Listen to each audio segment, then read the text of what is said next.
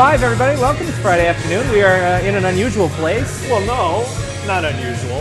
Our I mean, we first used to be home. here. Yeah, this all is the our time. first home. This Right. is the first home. We are in the Ram, right? That's where we are. Yep. Uh, I'm drinking a, a butt face. I am Pete Wright, drinking a butt face, and I'm sitting here with Mr. Jamie Whitley. hello James, and uh, uh, it's good to see you. I, I haven't seen you I in know. forever. He hasn't seen Yeah, either And, of uh, and that's the voice of Mary Bradbury Jones. yes. Where have you guys what? been? Okay, Um, how did you? What did you say to me when I walked in the room? you're freaking huge. That was nice. Yeah, it was lovely. Mary Yeah. is Mary is Yeah, she pregnant, feels and so I haven't seen her in so long that she just huge. God is like four weeks, five weeks. It's been maybe Man, longer. Yeah. You were on and suddenly vacation you for like three, and I wasn't here last week. man, it's like you were just you know Well, that's right, because we did all those shows without you. yeah. Yeah. Which were fabulous shows, by the way. I've listened to them. They were good shows. well. Yeah. They were good shows. They were definitely good shows. And And then last week I was out, and you I was weren't out there. too. Yeah. yeah, so it was me and Shane. I thought you guys were I heard boycotting you- me. Yeah, no, Yeah. no, and, and you had the guy in uh, with the brain. Frank, Frank's brain. Yeah, Yes. that was actually that was a good episode. It was That interesting. It's an very interesting talk. It, I'm telling you, the pictures. I need to post more pictures because the Of- the pictures of that of, of the process. Like you see the picture on the website, right? Is him with the frame on his head. Right. Well, that was that's the device that they drill. They they screw to his skull, and it's the thing where they screw it so tight that it's it's like touching bone. You know. Did he have like little holes in his yeah, head? he did. He has little holes in his head in four places. And you can see him like yeah. in his forehead. Yes. Wow. Yes. Can he screw a little horn in or something? Yeah, I told him he should do that. Yeah.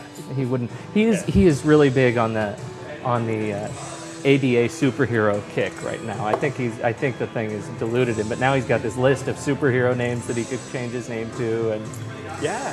He's a funny guy. Screw in attachments. yeah, stuff in his little- head. that's right. He could do like a little satellite dish. on Yeah, one, exactly. Maybe a laser pointer on the other. Borg. He could screw in like little magnifying glass attachments that Yeah, swing down over his eyes. yeah. Yeah, like a targeting thing. That was be iPhone. so cool. Okay, seriously, he could screw in an iPhone attachment that swings down like this. Huh? Just like the Borg, man. Just That's like the exactly Borg. what Oh it is. goodness. The Borg are known to be real Apple people. They love the iPhone. Uh, we have a guest today. This is actually a repeat guest. Yes, it is. Mary, would you do the honors, please? This we have Philip Jones back with us today. Phil, it has been too long.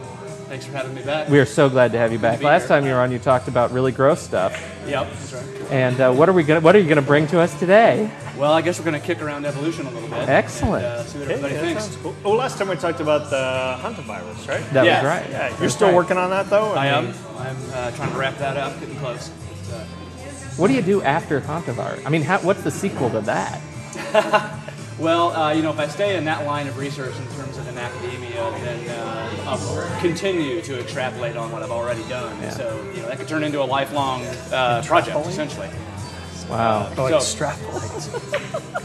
Hello. So, Never mind. What? You don't extrapolate anything. I just not what I thought he said. I was like, used the word. I'm like, what? I'm- yeah. Never mind. Anyway, well, it is great to have you here with us, to have Phil. This is Thank you. Glad fantastic. to be and uh, uh, so let's uh, let's kick it off with the news. We're missing Shane today. Oh yeah, we Please are missing that. Shane. And Yeah. you know what? Uh, uh, do a, a cross. We're missing Shane. He's on vacation, doing some vacation-y type thing, hanging out with friends this weekend and next week. We're gonna miss him next Yeah, week. I think he like. Seattle this weekend, and I thought he was like a joined a monk weekend. group or something for a week and was going to meditate and not drink beer and stuff. Just really try to get in to know his inner self. I, I think it, I think and- possibly the exact opposite is what's going Yes, on right now this weekend with exactly. Shane. Oh, I'm, I'm right. sure he's had many at this point already. many oh beers. man. Yes. Yeah. Oh yeah. Yeah, that guy can uh, he can hold his own. Well, you know the eating. He's the eating competition uh, loser, actually. That's what I but- heard. I heard that in the show. Yeah. Yeah. Uh, what were they eating? Hot dog? Watermelon. It was a Watermelon. watermelon eating competition. It was, he went down in, in flames, is what I heard. But Who uh, won that? Somebody small, some skinny somebody really It's surprising. always the and really it's always. small one. We learned about that. Yeah. It's the skinny, muscular dudes that uh, that actually can put it away. dog eating contest Yeah. Yeah. It was the thing that blew me away was the guy who in a it was like a minute and 47 seconds, six and a half pounds of beans. Beans. Oh, First of all, why? I mean, come on. I mean, hot dog, okay. Watermelon, beans. beans. Yikes. No, I wouldn't do that. The only things I would eat competitively are like Rice Krispies, cotton candy, Oh, the Rice Uh, Krispie champion. you have to take shots of insulin for the next two days. Exactly. Spill all cotton candy would be worse. Yeah. That's right. It's just pure sugar. Okay, so we got to do the news before we our do. food gets here. Headline What's- news, What do we what do have we going have? on this week? What do we have? What do you guys want to start with? Just, just start. You start. Well, we were. Um, how about the whole Michael Vick dog fighting? Oh It's my a good God. place to start. Michael Vick. So I saw a shirt on the internet today. Neuter Michael Vick. I think I'm gonna get myself one. There, I had this. I had this conversation with these guys who are coming up with more like bumper stickers. Yeah. I'm a Michael Vick entrepreneur with Michael Vick in quotes. You know. Man, that guy, his career is so done. Oh, it's over. Uh, it's I saw that Well, Nike and, and others, No, whatever. I don't think Nike's done No, they pulled it just today. We, as we were in the Ram, and I was Oh, looking at the? TV. They just Okay. announced They- that they pulled this off. Pulled his merchandise and stuff. I assume Well, they're so what? canceling his contract. For those who haven't heard, I, I assume Oh, everybody has have heard that Yeah. Michael Vick. He Like was he- everywhere. They went into his house and found 60 dogs. I think six of them were dead.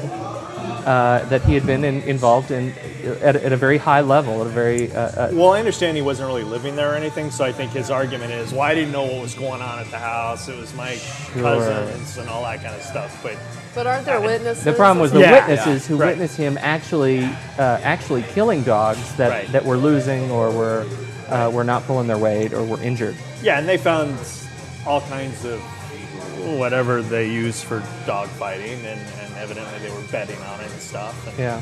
I mean, that's just horrible. I mean, How do you find such a big crowd of people to come bet on dog fighting?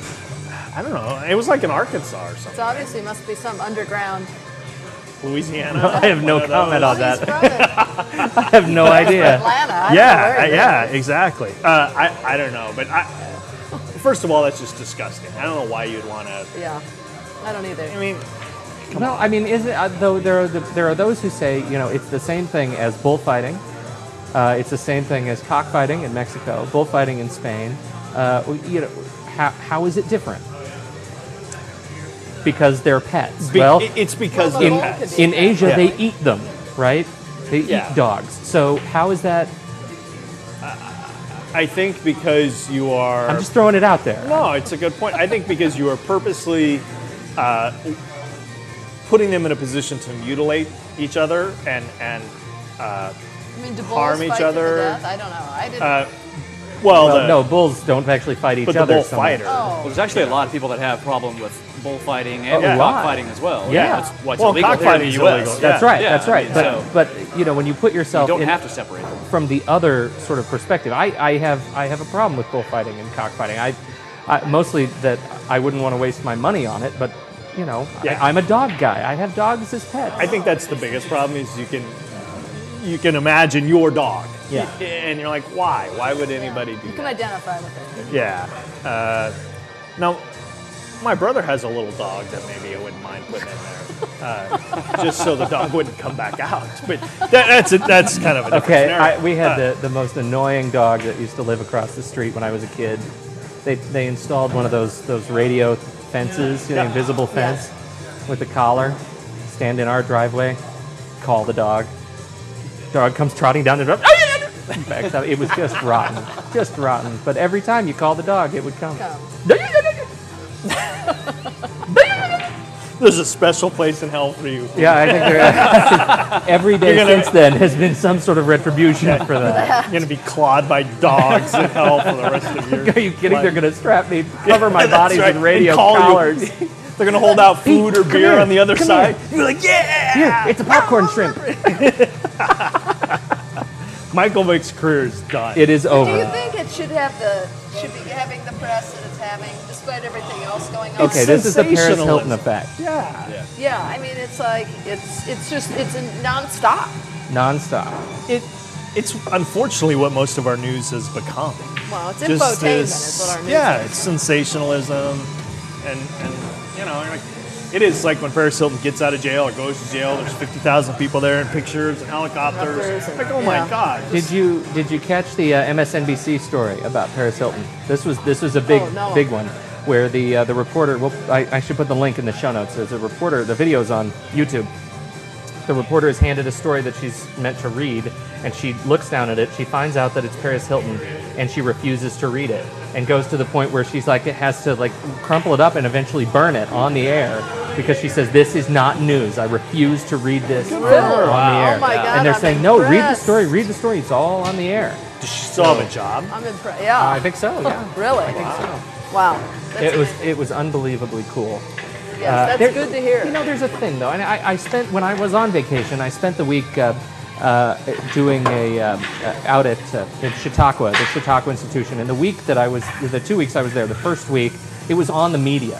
And so every day we had lectures uh, uh, from people, pundits in the in the industry. You know, we had John Harwood, who's a CNBC and Washington Post reporter. We had uh, David Westin, who's the president of ABC News.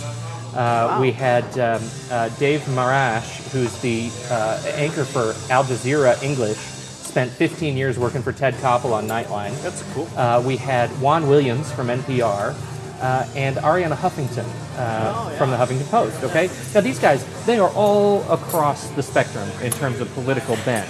Right. And and I think they had some they had some very consistent messages. The first one was, you know what, we don't get it right every time. We fail. We fa- when we fail, it tends to be catastrophic. You know, it's weapons of mass destruction, destruction, right? It's the build up to the war. It's Paris Hilton, whatever it is. But in general, the media is out there doing their best, and they are not. That there is not a general plan, uh, uh, like a ratings scheme out there to try and and uh, and bamboozle the the American public. But when they when you they were all asked, where do you go for your news? You know, David Westin, Arianna Huffington, Juan Williams, all these mainstream media personalities, where do you go for your news? And they all said consistently, the only institution that gets it right to their standard, NPR. They always turn that on in the morning. That's where they get their news. And these the guys, one that's not out to make a profit. yeah, Cutting the. Definitely not profit driven, although but they're they in, come under they're in business to stay Well, alive. that's true. And Well, that's true. yeah, I mean, Bush has actually put in place quite a few of the administration of NPR who are Actually, political didn't just- pundits and who are, who Yeah, are I alleged. I think they just have- tried to uh, cut the funding for NPR, and that Yeah. got Yeah. uh, Oh, reinstated by uh, I think, Congress, yeah. which- And thank God, but you know the Yeah. bottom line of that one is that it, you know NPR's funding has fallen, repe- uh, you know every Oh, yeah. year catastrophically, uh, year over year over year, and now it's down to some. For, for uh, you know most sta- most affiliate stations are down to receiving under 10% of federal funding yeah. of public broadcasting. yeah. But it think just underscores the is import of keeping that one on- alive, of keeping Oh, public agree. radio, public Absolutely. broadcasting Right. alive. Yeah. Right. Interesting. Okay, who's next? Uh, that was Michael Vick. iPhone. How do you like your iPhone? I still love my iPhone. You still love it? It's all sex. It is fantastic. It's the best phone I've ever had. But I have a related story.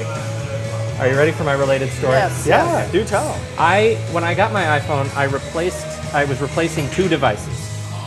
My Arctic White Treo 680, which I loved very much. We were at a very close relationship. It was hard to break up with my Treo. And my uh, my 60 gigabyte uh, iPod Video, which I sold both on eBay. Uh, so my Treo, I sold it to this person uh, on eBay. I won't say her full name, but her last name, her first name is Deborah. Started sending me these emails, very nice emails. She was a local person in Portland saying, "I'd like to buy the, the uh, your Treo." She won the auction, and she paid me with an e-check, and that cleared. The money went into my account. I withdrew the money out of my PayPal account and put it in my bank. And then I get this email saying, hey, by the way, would you ship it as a gift to my friend Alex or my cousin Alex in the Ukraine? I already had the money, right? So I'm thinking, well, all right, I'll ship it wherever you want. Right. Okay, don't do that. That's a mistake. It wasn't her asking it to be shipped. No, it was not her even asking it to be shipped. It was, I got word yesterday morning, I got a call or an email from PayPal saying the money that you got here, that like it was like 330 bucks. We've just taken it and put it back on this person's credit card because it was a stolen credit card. The person uh, just defrauded you, and because you didn't ship your merchandise to a verified PayPal address, you're not protected. You shipped it to the Ukraine and so we can't get your merchandise back. You can't get your money back. You're, it's a loss. So this is what she says. The poor pay. I let her have it. I feel bad. To, to, to the PayPal gal, if you're listening, I'm so sorry. I completely let her have it. But she says to me, she says this. The only way you can get your merchandise back, sir, is maybe if you can work out an arrangement with the buyer uh, to actually send your merchandise back to you. Yeah, right. They used a stolen credit card. How likely do you think it is that they're going to work with me? Because I Send was the Ukrainian boned. police to the address. Oh my God, I was Interpol. completely boned on it. And you know, it's it's more. I, I can get over the 300 bucks. I'll I'll sell more stuff, and I'll I, that I'll figure out. But I'm just so boned because I'm one of those guys that people look at about. You know, I'm a technical guy. I usually don't fall for that stuff. And I totally fell for it. I should not have done it. Oh my. Lessons learned. that very man. I'll big- tell you. yeah. uh, you know, it's a sting.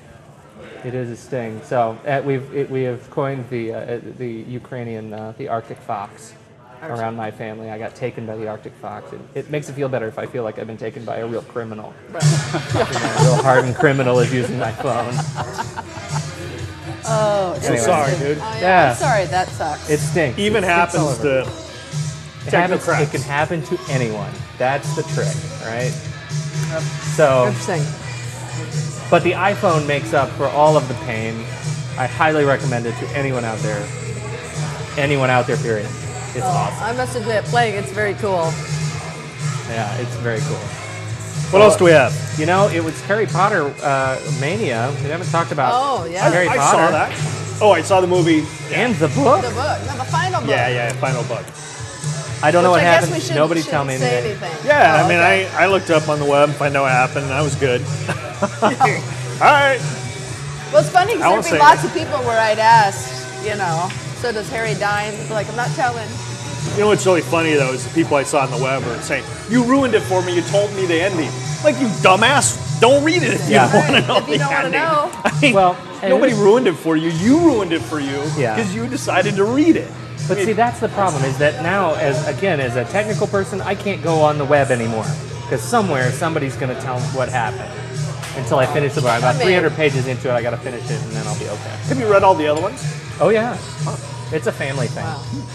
Cool. I didn't know you had a crush on Hermione and all that. Are you kidding? She's almost legal.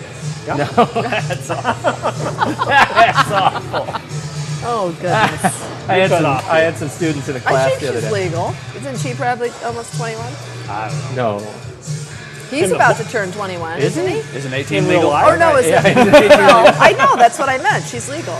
Or is it 18? Well, we were seeing where So, he's uh, Daniel going to get Radcliffe, his right? money once he turns what a it is? certain age. What is that? Was You it better 18? look Oh, 18. okay, never mind. They're just now turning 18. Michael Jackson will start calling him up. are you kidding? This is when Michael Jackson stops calling. oh, that's terrible. That's Oh, terrible that too. is awful. Man, you're cut off, dude. God. That butt face. All right, what here. else? What else you got? Well, we were talking a little bit before uh, the show started about the whole story that's come out about Pat Tillman, and now Oh, speculation that he was murdered by. Uh, Man, that US is forces. horrible. That must have just come out today because I haven't seen that. Actually, no, it came out Yesterday? A, a couple days ago. It was on. Uh, Wow. Keith, no, it was on Keith Olbermann last night. It was a news breaking story. So, I bet he's on that like a piranha, so Olbermann. yeah, you know, because he.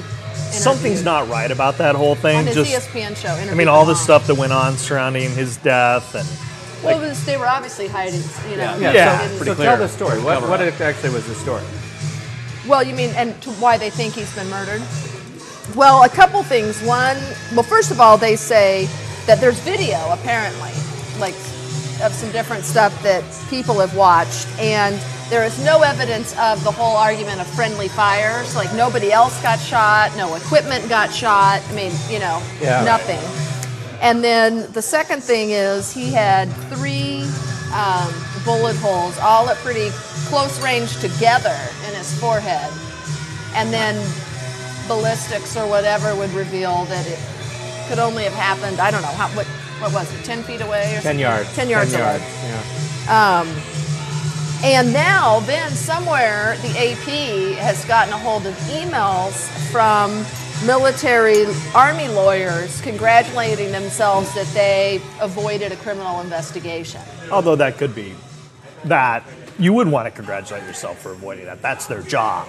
So Well, I mean, they may not But know I don't. know. I mean, I think that they I mean, they so got it covered up. if is it's what been covered up, it, you it's probably even covered up from the lawyers as well. I mean, that's a that's a possibility. Well, possibility. and what, what General Clark was saying on Keith Olbermann last night was, for this to have happened, this is way, this is very high up in the military to have made this call. Yeah, the decision to go forward with the cover up had to have come from, From- like the Pentagon or higher. Right. Yeah. So, Well, they also Anyway. pulled a star from the general that was They did. involved. Yeah. with The initial cover up. yeah, who claimed he couldn't remember anything. Yeah. There's a lot. got It's like this Gonzales, one that going right? Gonzales can't remember a lot Nobody of stuff. Can. Yeah, That's he a- only wrote emails about it and stuff, Reagan but he really can't floodgate. remember. You know, oh, that Yeah. emergency meeting? I don't remember anything about the cookies. that were running. Yeah, Gonzales is in trouble too, right? I mean, What? Yeah, what's, Gonzales what's is in trouble on with him too. now? oh, yeah. Well, he got Oh. caught lying, basically. Yeah, about the whole firing of the of the uh, lawyers. Okay, and- seriously, took long enough. You know, give well, me a break. That's Like they didn't see that the first time they deposed him. I know, him. but they have to get where they have actually finally get them where there's enough. And what happened, I think, was was it?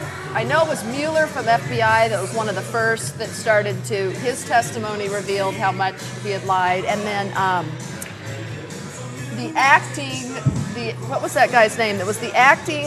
dir- Uh, Attorney General when Ashcroft when was in the yeah. hospital under for his surgery, so Oh, he that's right. passed um, you know, pass the reins to someone else. And they came there trying to get Ashcroft in his drug state fog to approve the illegal wiretapping. right. well, that's actually pretty smart strategically. anyway. Wait till he's on drugs. You know, but he was like, no, this is the one in charge, you know, charge. And Cheney Anyway, was recently president of the United States, wasn't he? He was, and, was, and you yeah. know, I was about to say we we are we could have been a very different place today than we were. Man, I, there, And now Rove's gotten a subpoena, although they say Rove won't come. there's some weird shit going on. It's just not right. It's Everything's like lies and cover up, and if you didn't do anything wrong, then what do you have to cover up? You know the interesting thing? I don't think Bush is really smart enough or has enough control to really know what's going on. And and I, I think in a lot of ways he, he hired a bunch of people, put them in charge, had no real oversight and etc. And they're off doing their own thing. And I don't think he really I'm gonna guess he Well, and, and not to be completely crass about the degree, but that's really, I mean, in terms of the vernacular, that's the MBA, like uh, that's the MBA response to management. You know, it's it's uh, establish a nice official hierarchy, and if the world were in order, it would work very well. But the world's not in order, and he's out of control, and it doesn't work as well. Yeah. Well, and, and Bush is not really, he doesn't come across as a control freak, so I don't think he spends a lot of time looking at stuff maybe like Clinton did or whatever. No, I mean, it's, it's well, he definitely. Up. I mean, it's known that he doesn't want to hear what. I mean, you don't tell him what he doesn't want to hear. Yeah. His whole team knows that. Yeah. Yeah. About him. Yeah, it's, uh, So. it's effed up. But that It's doesn't mean all in Iraq is bad. There actually has been, and you, you tease me about this because I send you a few news stories now and again Oh. about provinces getting better. There was actually even a big article in this last week's Newsweek, which is generally a pretty liberal uh, magazine, about uh, how certain provinces are getting a little better. It is pretty liberal. Oh my God. Oh, all right. Uh, whatever, James. There are some provinces that are getting better. I think some of the Iraqis are getting uh, a little tired of uh, the violence that is going on and stepping up to the plate. You think They- you think they're getting tired of it? I'm sure they're That's getting your- tired of it.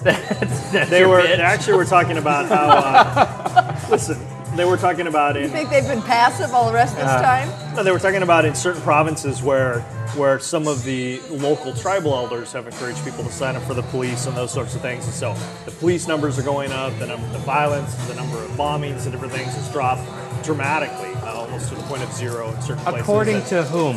Right. I haven't heard According to of that that. was just this week's That's what Newsweek. Newsweek said? This week's Newsweek. Hey, that's all right, man.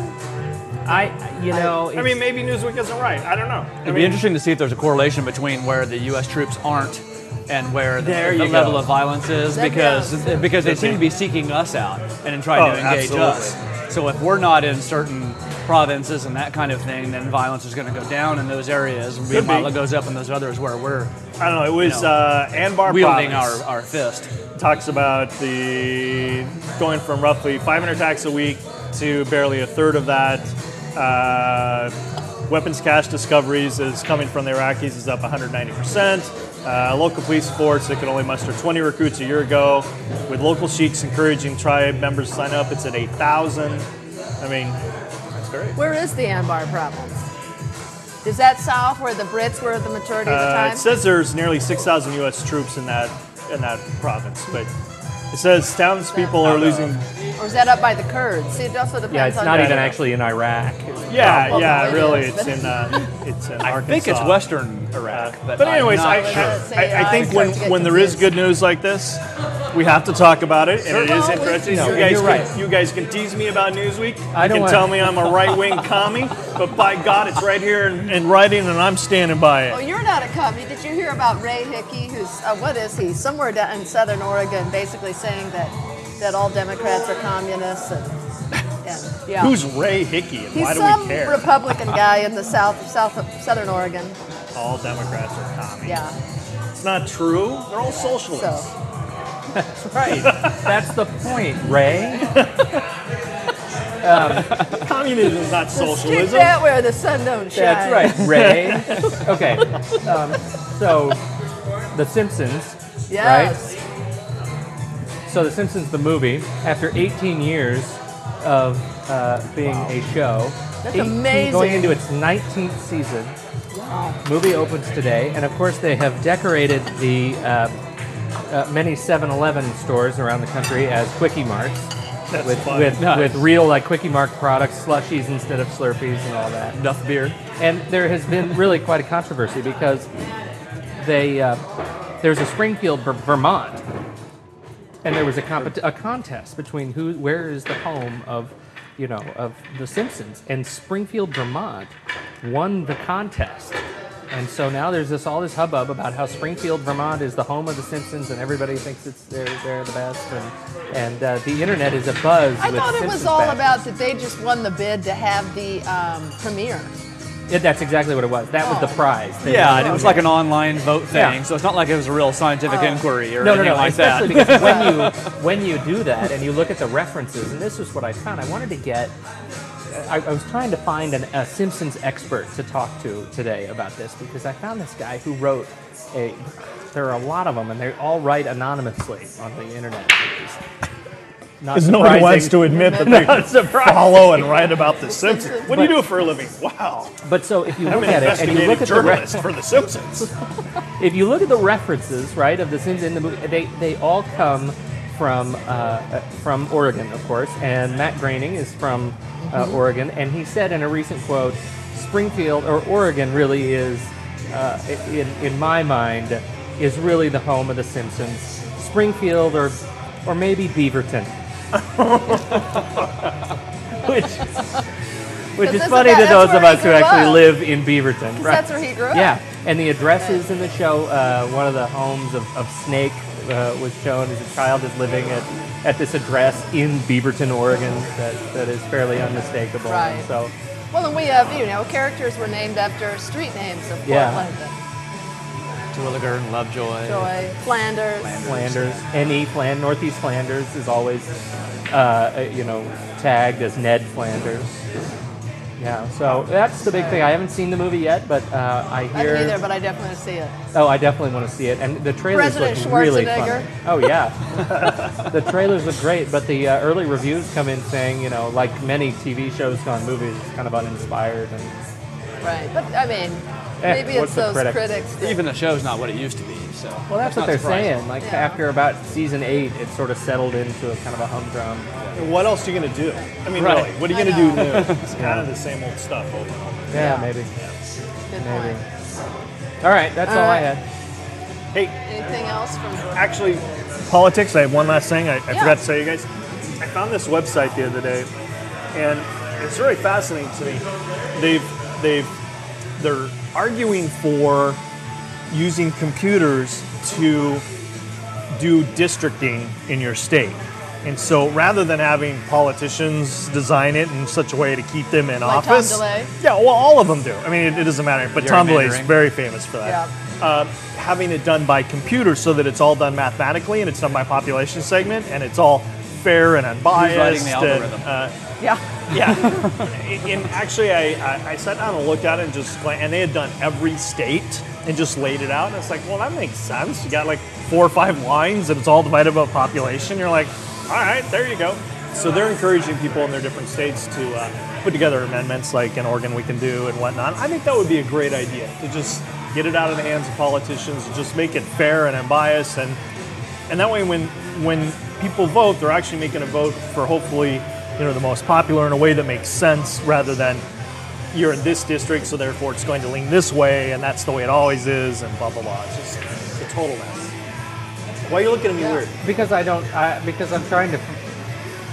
Everybody at this table is like smarter than me about this stuff, but I'm trying to figure out why, uh, why that in itself would solve the problem of uh, of politicians getting elected into office. because the way it works now the way the districts are drawn up they, they generally draw them around really weird boundaries in order to, In order to satisfy their population needs. of voting, either Democrat or Yeah. Republican, rather than just saying, let's separate our state into four quadrants based upon population and just let the chips fall where they may Republican, Democrat, or, or in between. So by redistricting and drawing them out, you're essentially making yourself the incumbent more likely to get To to, stay to stay in office. So the idea becomes how do I stay in office Yeah. versus how do I do things that are good or how do I make good arguments for my positions rather whatever. than this little empire building Well, system. and, and that's why the turnover is so low in states. Yeah. I mean, people say, well, the democratic process works because I got voted in 12 times. No, it didn't. Dude, you got voted in because your whole district set up to keep you in. Yeah. I mean, there's to, to beat you would take so much money that's just really never going to happen. Right. And, and so it's set up to maintain the status quo. And if you got rid of that, then things would become more competitive and better ideas, in, in my mind, would win. And, and that's the democratic process. Let the good ideas bubble up to the top and, and move forward. So I'm all for it. I like it. This is cool. All right, you sold me. I buy it. I'll vote for it. All right. Somebody give me give me a letter to write. With that and publicly finance campaigns where you I think could we- buy yeah. votes, then there'd be a de- another. Throw Yep. in the electoral college. and we'll Yeah. have it all Oh fixed. yeah, somebody put that on Will It Blend. Well, in today's day and age of technology, why do you need ridiculous. the electoral Yeah. college? Yeah, it doesn't make Ridiculous. sense. And why it's not one day primary across the United States. Is Yeah. another thing. yeah. National primary. It's the capability to do it. It's, you know, which is, I mean, it's starting, I think we'll be there eventually as all these states are fighting to get earlier and earlier in the. Yeah, and they're all on top of each We're other. going to have like, Yeah. what do they call it? Or it's going to be like Tsunami Tuesday or something like that. there's like so many right after. Anyway, be interesting. Hey, despite all the global warming, this year's hurricane season is not as bad as it was predicted to be. That's good. Just saying, maybe that global warming crap's not quite as real as we thought it was. But anyways, that's a different issue. I knew that was coming. I was just But waiting yeah, for it. That, that hurricane season is a great body of evidence for global climate. Yeah, but you have to understand, two years ago, when there was all the hurricanes, everybody's like, oh my God, it's global warming, it's global warming, it's global warming. Well, now that we don't have it, my answer, okay. So, Well, global, wa- but I, if I remember correctly from what I've read, it's not saying that it necessarily will increase the amount of hurricanes. It, it can make the intensity of the hurricanes stronger. Because the more warm Right. water there is, the more they they get. Yeah, it won't affect the number of hurricanes, just the intensity I saw a, I saw a great piece the other day. Um, if you haven't watched Penn and Teller's bullshit, it's great. It's a great show. They, They went the implicit. there. they, No, we lost that a long time ago. they, uh, they interviewed uh, one of the founders of Greenpeace, so actually has left Greenpeace because he said it's been hijacked and made a, into yeah. a political movement, and and he's you know doesn't agree with. It. He was a very fascinating guy, very interesting. Why? I wouldn't be surprised at that. Why is it Yeah, been what, did he, what did he say? Well, hi- hi- his point was, for example, people will say, "Well, we shouldn't cut down trees, and we're killing the forest, and you know the cre- the trees weep and stuff when we kill them." It's like, dude, you have. I mean, you have to live, and and if you cut down trees and you plant them in return in a responsible fashion, I mean, there's nothing wrong with that. That's just you, you, you take some down, you add some back, and you put policies together that make sense. But this whole thing about marching and beating drums and dancing around naked because you're tired of people cutting down trees, yet you're wearing cotton and all this stuff. He's like, it, it's, it's hypocrisy. And he left because he felt like it was getting hijacked by groups who had political agendas that missed the overall point. And I think it was right on. Phil, do trees weep? Not that I'm aware of. And, Scientist's view. and trees do on how you not weep. weeping. some of my over- work at home, I had to cut some roots, and they actually did the little have some, uh, yeah, some seepage from those Over- root cuts. and so overzealous sap slow. Exactly. It could have been a tree crying. I don't know. Ow! ow! Ow! Ow! Ow! Ow! Ow! Ow! You guys are horrible. All right, what else are we talking about? I think we're talking about Let's- evolution. yeah, Let's talk about yeah. evolution. Let's do it. Enough of the banter. Phil brought a book. Yes, Uh, he did. I did. Why don't you tell us about your book? well, To I brought this at Mary's It's not behest. Phil's book. well, yeah, yeah. Thank you for that preface, Pete. I brought this at Mary's behest because it's interesting at the very least. You know, I certainly don't want to throw darts at anyone in particular, but this is called uh, "Life and How Did It Get Here: By Evolution or by Creation." Cool. Sounds pretty uh, straightforward, like a pretty good little conversation and debate on the issue. Um, but this was given to me by a group of Jehovah's Witnesses who stopped by my house one day. That was nice of them. It was.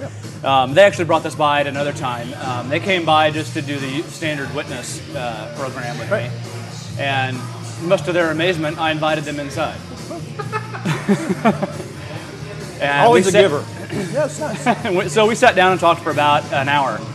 And uh, of course, it, it, it uh, got on to, to this conversation of creationism, intelligent design, and that kind of thing versus evolution and that sort of thing, which um, I dabble in a little bit.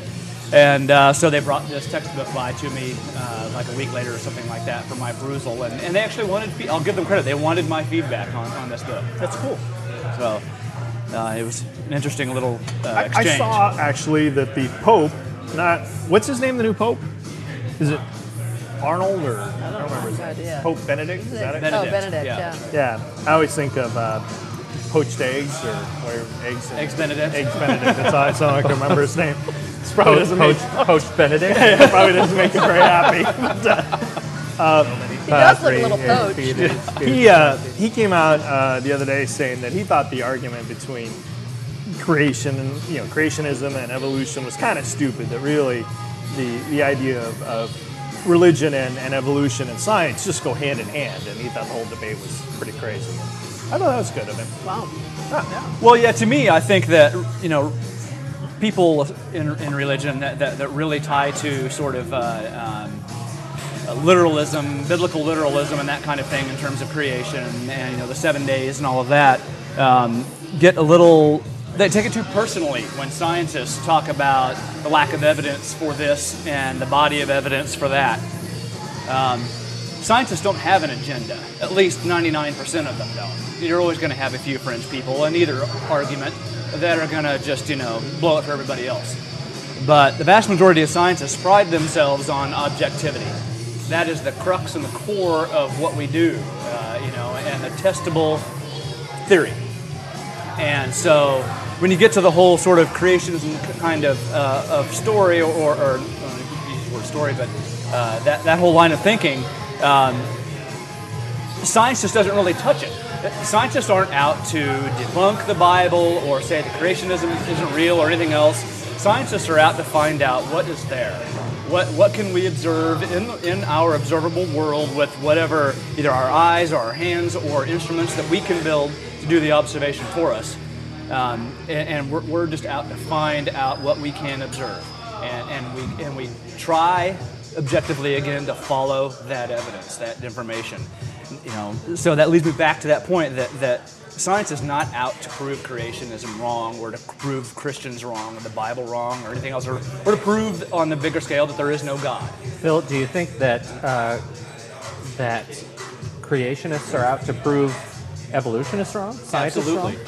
So they do have an agenda. Because they already have their answer, and they're working backward from that answer to make the argument and to have a counter argument to uh, evolutionists or other scientists or whatever that may be stu- studying something you know, somewhat peripheral to that, that lends to that body of knowledge. Um, it goes back again to that objectivity that we try to maintain. Of course, we're human, we're flawed.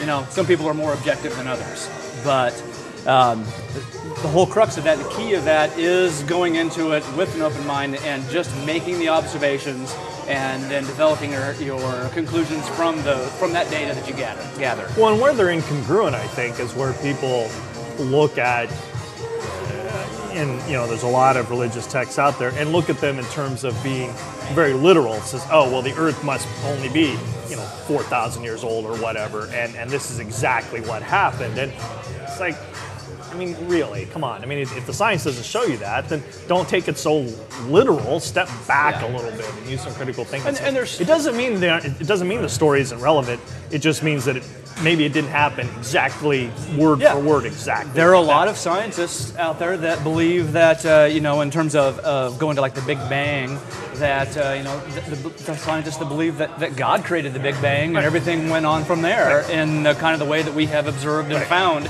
uh, from that point. and that's You know, not and they- incongruent with with religious. It's really not. philosophy. I mean, because you certainly couldn't expect someone, you know, 2,000, 4,000 years ago to go to the Old Testament to, to really understand and be able to put into words, uh, uh, you know, a clear uh, explanation of, of those events. Right. So, They didn't have any data at the time. right, and they just didn't have an understanding of the way that things functioned. You know, they didn't have the observations that and the data, the, the hard data that we do have now. Um, you know, so there's a lot of that out there. There's definitely a huge gradient of, know, I- of people in this argument, from the, the strict evolutionists and atheists, you know, all the way to the, the strict biblical literalists like my family, who you know believe in the 4,000 years and all of that, and, and nothing How do, you, else. how do they? And, and this is interesting because I didn't know that was the way your family is. But how how do they make that argument in the face of so much scientific data? So how do you? Yeah.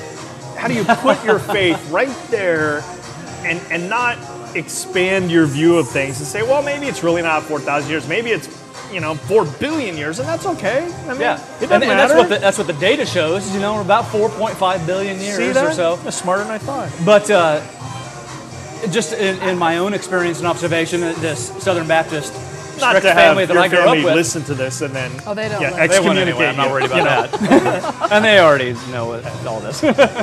You're already going to hell, aren't you? But yeah, yeah. not not to make it personal in any way, but m- my mother seems to have this this intrinsic ability to sort of uh, shut off and not hear what you're saying, look you square in the eye and nod her head, and not actually listen to the words that are coming out of your mouth. Um, and so, it, I I hate to make it that simplistic and trivial Right. almost, but but there's definitely uh, an aspect of that going on and occurring where you talk about how can they just how can they rectify this. Right. Some of them don't bother; they just shut it off and won't even go there. They Well, just, maybe- you, maybe can, you can talk to them with rationale and reason and logic and data and everything else. It makes no difference. Well, maybe the argument is, why just take it on faith? I mean, isn't that the fallback position? Well, absolutely. Uh, that's I mean, that's that's, And- that's their band aid for everything. Yeah. And, and, and I'm not here to knock faith. Don't don't get me wrong, because I, I, I have a I, I think faith is very important. But you also have to say, all right, let's just take a look at it logically and figure out what we know and what we don't know. And that just seems to be the rational thing to do. That's why I don't understand the whole argument in some states about, well, we have to teach this other view, and we're going to put these little stickers on the books and all that. I'm like, what are you doing? Because Yeah. isn't, but isn't it the what's the heart? doesn't what that show is? They're it, that deep down they're insecure in their views, which is so thus there's a desperate need to control what people are learning and hearing because of that deep-seated, probably unrecognizable insecurity. Well, okay. I mean, see, I now don't I buy that even more, and I think it's. I, oh, I, I think that's really the issue because whatever, whatever I come back to, and I'm looking at this book right now, you know, and it's, it's saying things like, with a little picture of a monkey, it says, "This monkey-like creature has been called one of our ancestors. No fossil evidence exists to support this claim." Patently false. Well, of course, Well, they have a drawing of a monkey, have so a, who knows what kind of sketch a monkey, or yeah, thing that I- is. you know, yeah. who knows what it is. It's, But it's the- a furry biped. But the issue is when you come back to when you come back to why do you put your faith in here? When you drill down to what that the answer to that question is, it's I have to believe there's more. I have to believe there's something else than this. And that gets to that question of insecurity, in my mm-hmm. opinion. Yeah, Well, hold on a because you're second. rocking the very foundation they've based Yeah, everything absolutely. on. Well, hold on. I believe there's more than this, okay? But that doesn't mean I don't believe in evolution. I mean, I, to me, they go hand in hand. You can't you can't pull them apart in my mind. Well, and that's the gray area. But people, but you don't write a book like this. yeah, no. You're not at Right? evangel- evangelizing people and, No, and no, no, holding no, no, holding no. tent revivals. I- again, I think that I think that faith, that religion and science, in my mind, go hand in hand. and, and they, they fit very neatly together in a rational way. I was told growing up that the fossil record was put there by the devil specifically to fool us. Well, oh. Good job, devil. You go. Huh? Yeah? No, I mean, Wow. you know what's really I know you can't follow that up with anything. I know. Well, yeah, and things like this. Is, this is one of those things that really, it really stuns me. Uh, this is a quote, a sidebar quote with no attribution whatsoever. Pigs remain pigs, and oak trees remain oak trees, generation after generation. So what? Does that address anything? No. Well, I think what they're trying to imply is, therefore, since pigs They're have saying there's stayed no pigs, change. there's Yeah. been no change, thus Right. evolution doesn't exist. You know, and you could Yeah, get a I- long discussion about how they're they're looking at a snapshot in time, and you know, if you really start talking about geologic time and deep time, we have so little ability to fathom geologic time and what. You know, 3.8 billion years since what we, the latest evidence shows is about where life began to form on Earth. Earth is around 4.5, 4.6 billion years old. Around 3.8 Yeah, we billion can't years ago, even- we started life. I mean, so we can't fathom that. We how can't long begin that to. is. How long ago that was. Oh, yeah, I mean, because Yeah. we look at things in 100 year snapshots. I mean, we can't. Yeah, exactly. Yeah.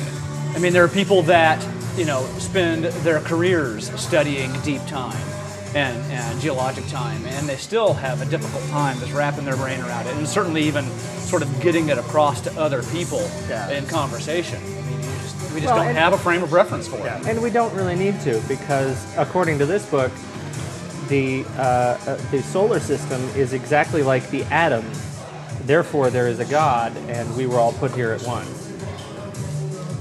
I don't Is even. like these- the These are all Like the atom. Like they're all punchlines. There's some duality there, yeah, with uh, formation, you know, orbits versus you know planetary orbits versus. I saw a great uh, article today that actually atomic orbits. starting to argue that there's no such thing as time, and and there's and and one of the things they're trying to figure out is how come time always moves forward, and, and how come that's the way we always measure it, and and you know and it's very fascinating that maybe it's not this mathematical thing we think it is, and I just read something associating time with parallel universes that are actually each universe is in itself a a snippet of time, so to speak, as we Right. define it. Right. And it's not really time. We move from one universe to the next. right, yeah. In quantum mechanics, That- quantum theory, and that kind of thing. See, that's what's really cool. But again, I don't think any of that disproves in any way anybody's religious belief. I, I think they go hand in hand. But I, I don't understand people's absolute view of, all right, it was 4,000 years and that's the way it is, and, and the devil put everything here to make us question otherwise. And I, I'm just, I guess I'm a broader.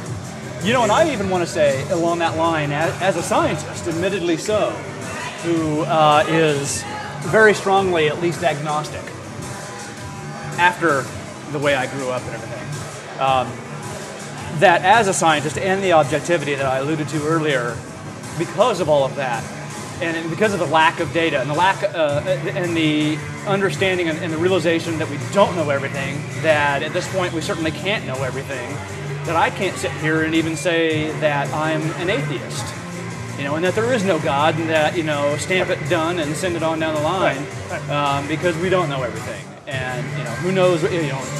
If the universe is expanding, what's it expanding into? You know, Right. Just for a simple little thing Right. to throw out. So I mean, uh, so that's something that, that the, the whole creationist side of the argument also doesn't realize about the scientists that are looking at this thing as well, is that they even, many of them, most of them at least, you know, still even have that acknowledgement that they can't even say that we know everything and can't say that, oh, we've disproven the existence of God and all of this stuff. But yet, the other side of the argument acts like that's our agenda. Right. And, and I've actually been attacked before and, and been accused of using it as, as religion and that kind of thing. The science, Science is, you as hear about science as religion or evolutionism uh, as, Well, as that's the religion Richard Dawkins kind of thing. argument. Hook Yeah. yourself up to the E meter. I'm telling you, all But your to- problems will go away. To me, religion goes back to worship. You know, and there's got to be some kind of, uh, of a, a deity there, and higher intelligence, or something. There's something there in any kind of religion. There's always some kind of worship going on. Well, it's this higher Yeah. order that you, you know, you're helpless and you give it up to it and etc. Exactly. Yeah, Whatever form you see that as, Yeah. or however you choose to engage with that higher thing. Right. Um, but in science, it's, it, it isn't a worship thing. It's, it's like I said before, it's finding, is- finding what we can find, Right. and that's all it is. what does the data show us? What Yeah. does it look like? You know, and it, the interesting thing, and I'm not a scientist certainly, but quantum mechanics and those kinds of things are so interesting in terms of we don't understand so much. How, how you can look at it at a some kind of piece of energy and it's it's not there, but when you turn away, it's there and it's measurable. It's like whoa, you know, or you or something moves here and something clear across the world moves exactly the same. You're like, wait a second, how how does that happen? That's my experience every time I walk into like the sharper image. God, look at that globe. Yeah, it, I mean, it's just weird how all that, and there's so much we don't know. I don't, I, I- maybe we call them fundamentalists. I, I don't know, I don't get them. And unfortunately, I think in politics today, a lot of the right, the, the Republican Party has been hijacked by a lot of those folks. And Oh, so, absolutely. So then guys like me who are fairly conservative, then you get lumped in with, you know, Yeah, right. like, wait a second, nobody, I'm not arguing for some stupid sticker on a textbook. Come on. I mean, that's just some weird Well, and fringe that's Or you know, I mean, we come, you know, coming from the Midwest, you know, some of our darkest days was, well, it's happened twice now, where a crazy uh, school board in Kansas has, you know, basically said evolution will not be taught in the schools, and Yeah, it's, you know, man, If you're teaching science, teach science. If you're teaching religion, teach religion. yeah. It's that simple. yeah. Okay, so intelligent design then, because that's the answer. What is intelligent design? Intelligent I mean, I think you have design to is, define it. is, is Yeah. creation, creationism in scientific clothing. And that's all it is. And there's even a, a little allusion to it in there about a There is. watchmaker. So explain watchmaker it. is And their that kind of argument, thing. right? So the argument is, is that let's say it all started with the Big Bang, and the idea is that all right, it started with the Big Bang, but in order to get that far, something or somebody made that happen. Is that Yeah, it's not even so much that as much as it is looking at the complexity that currently exists. They always like to use the example of the human eye because it's so perfected and works so well. Uh, they always choose to ignore the four to six or at least or so other times that the eye has evolved in other phyla uh, besides uh, you know vertebrates. And they, they say that you know they, and they, they argue from the point that the eye is so perfect that it had to have had a uh, an intelligent designer to create it in the first place and they even say that there's no intermediate form and so again that's an example of how it was designed the way it with no is intermediate form? but I there see. are intermediate Right. forms they just choose to ignore them Right. See, because I could make the argument that says, all right, in, I, I would argue that maybe something set off the Big Bang in the first place, right, or whatever it is.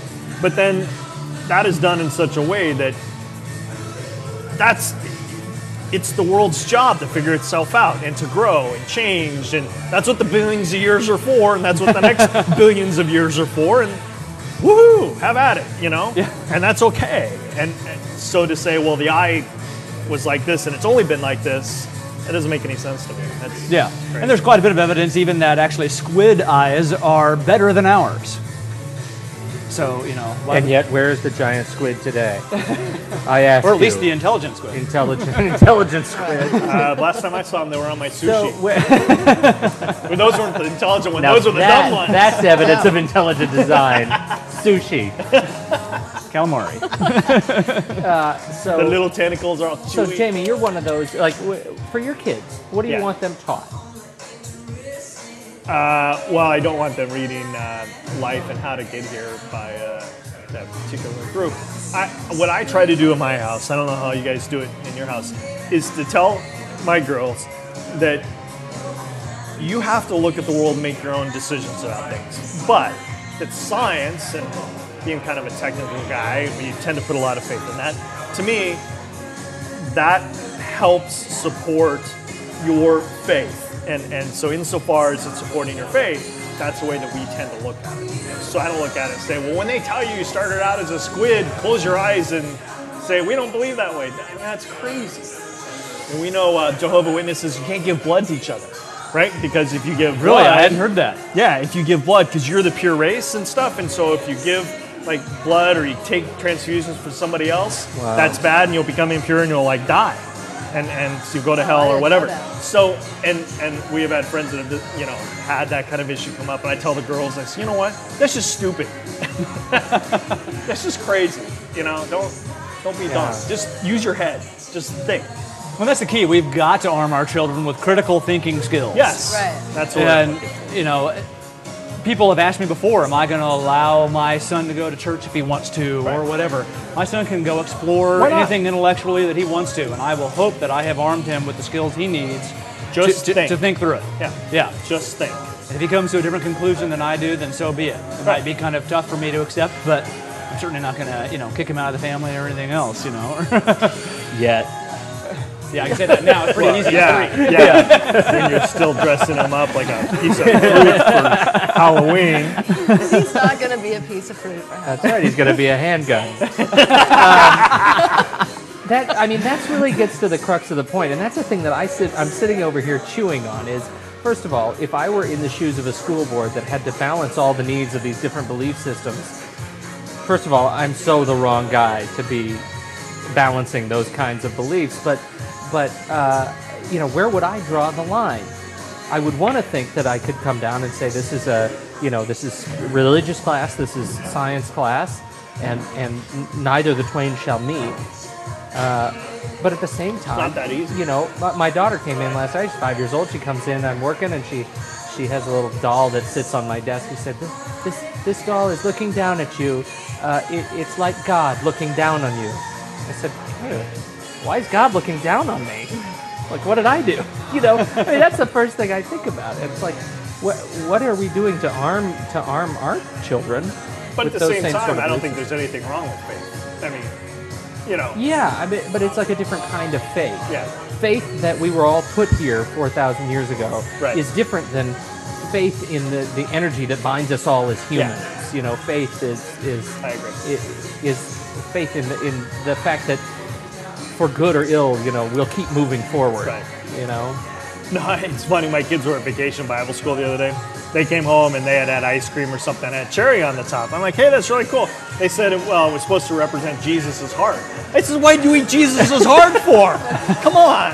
You know? Tastes good. Yeah, I mean, what if you would have been a leg and you'd eaten his leg? How would he walking around? That's the old. But the uh, Catholics do that. Bono is playing a concert in Ireland, right? And he's with a bunch of big Irish audience, and he silence everyone, claps his hands, raises. "Every time I clap my hands, a child in Africa dies." Somebody cries out in the audience, "Then stop clapping your hands, you asshole!" Somebody take him out. Oh, that's funny. Oh, That's great. That's great. I don't know that we've gotten anywhere on this argument, but we sure so. have uh, uh, spun away another hour here uh, with Beer:30. Uh, thank, special, special thanks to the Ram Brewery for letting us come in and hijack the uh, table in the corner by the pool table. Special Coconut thanks shrimp to, are uh, always oh, so good. God, it's, it is. It's like Christmas. Uh, thanks to Phil for coming and hanging out with us. It's with a special again. Christmas tree in my house. Well, always have coconut shrimp Happy to for be. Christmas. It is. It is. Well, it's a good thing because Hell I know you guys don't eat meat, so we're like, woohoo! So we, yeah, we get the lettuce wraps and the two coconuts. Uh, it's good to see you guys again. I'm glad we could uh, finally Yes, get together. definitely. And uh, where can we get your book if we want to pick it up? It's available on Amazon.com. J.K. Rowling has written the forward. Yeah. That's right. Everybody go out, uh, see Harry Potter, read Harry Potter, buy an iPhone, see The Simpsons, What else? and have a beer.